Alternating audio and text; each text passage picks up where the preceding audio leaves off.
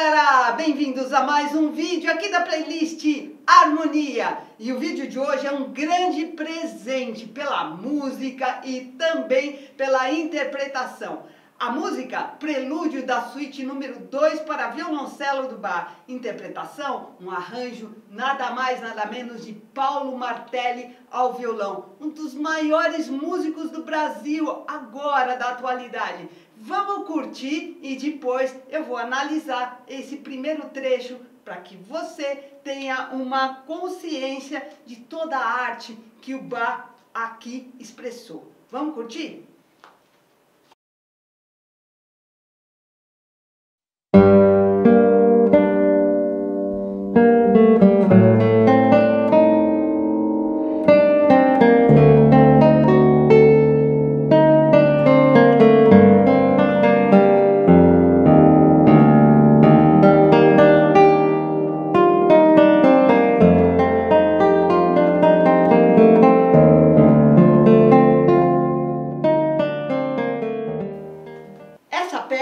Original está em Ré menor. Na versão para violão do Paulo está em Sol menor. Necessário, né, para que eu tivesse aí a possibilidade de transpor para um outro instrumento. E que instrumento, hein? Só o Paulo mesmo para conseguir tocar nesse instrumento maravilhoso. Agora vamos voltar aqui um pouquinho para o Bar na sua partitura original. Perceba, estou em Ré menor, E eu tenho que imaginar aqui como é que ele se comporta na hora que ele faz a cadência. Por favor, produção, nota Ré. Percebe? Ré, Fá, Lá, Fá, Mi, Ré, Do, Mi, Sol, Si. Opa! Você percebeu já? Depois, Lá, Sol, Fá, Mi, Ó. É, tem, isso aqui, como é um instrumento solista, violoncelo, no caso original, tem é, a, as linhas, elas, ela tem mais do que uma, uma, uma voz sozinha. Ela tem uma linha de baixo, ela tem um preenchimento harmônico, ela tem uma linha de ponta. Então percebe isso aqui, ó. Ré, do, mi, Mi, E aqui termina a primeira cadência. Percebe? Onde foi essa cadência? Em Ré. Ré menor. Cheguei na tônica. Agora, vamos examinar um pouquinho mais a fundo a questão da harmonia. Como é que o Bach lida com isso? Um prelúdio lida principalmente com a expressão da harmonia por meio de uma figura, uma figura motívica que vai se repetir. A partir desse momento, você percebe que você tem uma, uma, outra, uma outra expansão aqui, ó. Começa com um arpejo, tranquilo, arpejo de tônica. É, a produção podia ficar aí dando um rézinho aí, porque eu falo, falo, falo, e depois eu acabo perdendo o tom. Vou lá, ré. Viu? Às vezes, nem sempre ajuda, né? Dá um ré, por favor. Ré. Aí. Ré, Fá, Lá. Ó o Ré menor aqui. Eu estou indo um pouquinho mais rápido aqui para vocês entenderem a expressão da primeira frase, que vai mostrar o tom, vai mostrar o motivo. Percebe? Essa linha de baixo tem o Ré e ele faz o arpejo. Portanto, harmonia Ré menor. Primeiro grau. Ó, oh, essa falha, esse corte aí foi porque eu apaguei aquelas anotações do baixo para não confundir vocês na análise, tá? Então eu vou circular o baixo, ó. Ré, Ré menor, primeiro grau, faz o arpejo, não deixa muita dúvida. Agora, veja isso. Dó, Mi, Sol, Lá, Si que acorde eu vou pôr aqui? Eu vou pôr diminuto. Sempre as pessoas às vezes ficam em dúvida. Você às vezes cifra como dominante, não tem a fundamental, como diminuto. Como é que eu faço? Para mim, para você expressar realmente a presença do, do acorde de sétimo grau diminuto, assim, sem sombras de dúvidas, você tem que mostrar a sétima diminuta, que é a grande característica, que está aqui, ó nota longa. Então, Dó sustenido, Mi, Sol e Si. Esse Lá, para mim, passa, é passagem. Eu ouço e cifro como sétimo grau de Ré menor, estado fundamental com sétima, por isso dessa sétima aqui. Percebe que ele continua, ó. Essa expansão que eu tinha feito, ó, do sustenido, sétima nota da escala de Ré. Mi, segunda nota da escala de Ré. Eu insisto muito nessa questão do conhecimento que as notas da escala te dão em relação aos acordes, às funções harmônicas. Sétima nota e segunda nota pede uma, uma, uma, uma resolução. Ela tem um caráter suspensivo. E o sétimo grau diminuto tem essa função, função de dominante. Fez, vai para onde? Vai para o 1.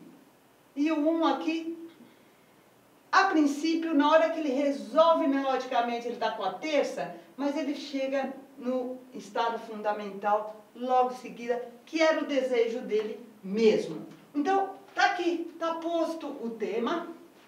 O tema inteirinho só tem dois acordes, Ré menor, Dó sustenido diminuto e Ré menor.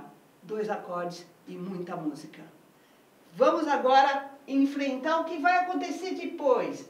De novo, Ré. Percebe agora. Ré, Dó, Si, Lá, Si. Tá vendo que o, o Dó sustenido, que é a marca de Ré menor, sumiu, desapareceu. Portanto, esse trecho que se segue aqui não está mais em Ré menor. Ele está propondo a passagem para outro lugar. Se você estudou um pouquinho mais a fundo a harmonia, você sabe que em determinados períodos da história da música existe uma certa hum, padronização de áreas harmônicas, tá? E é aí que eu te convido a ser o meu aluno na minha sala de aula virtual. As aulas são ao vivo, você conversa comigo, interage com seus amigos e tira qualquer dúvida ou curiosidade na hora. Veja aí as, as inscrições para a sala virtual, agora da próxima turma de abril, já vão abrir as vagas, não perca a chance. Vai estar aqui na descrição desse vídeo. Vamos continuar aqui perseguindo o nosso objetivo de entender o que, que vai acontecer. Percebe que o Dó sustenido sumiu, mas nada mais entrou a não ser nessa passagem, que é uma coisa muito momentânea, tá vendo? Ó? Porque se Mi bemol volta a Mi natural, não tem sentido pensar nele harmonicamente. Então, não tem nenhuma nota que entre e contraria essa armadura de clave. Sendo assim, o que é normal, de Ré menor, ele está indo para o relativo, relativo Fá maior. Esse trecho aqui, ele já está nos indicando que o desejo é chegar em Fá maior. Como? Ele vai promover uma modulação. E eu só sei que essa modulação realmente se concretizou na hora que eu acho a cadência. Onde está a cadência? Olha aqui, ó. Compasso 13, chega em Fá. Fá, Lá, Do. Aqui, sem chance, estou realmente em Fá maior. Deu para entender como é que é? Vamos rapidamente agora perceber como é que ele faz isso. Esse Ré, Do, Si, Lá, Si é um link né, para eu chegar aqui. Si bemol. Observe o que ele faz. Olha o arpejo. Si, Ré, Fá, Lá. Si, Ré, Fá, Lá, Ré. Si bemol maior, gente. Si bemol em Ré menor, baba. Ah, não estamos em Ré menor? Você está falando que não está mais? Beleza. Si bemol em Ré menor seria sexto grau. E em Fá maior, quarto grau. Então, percebe o que, que vai acontecer agora antes de colocar as cifras. O acorde aqui é Si bemol.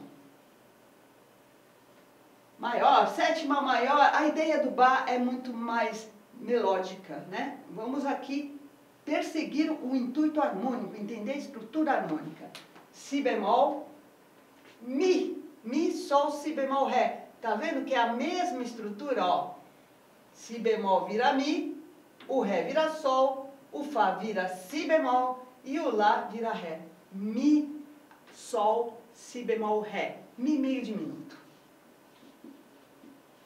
Ah, mas você não está cifrando. Não, eu estou entendendo o que ele está fazendo. Quando eu faço Si bemol, Mi, hum, quinta baixo, quarta acima, quinta baixo, Si bemol, Mi. Olha o próximo. Lá, Do, Mi, Sol, Do. É a mesma estrutura. Percebe? Ó. Só que agora começando em Lá. Lá, Do, Mi, Sol é Lá menor.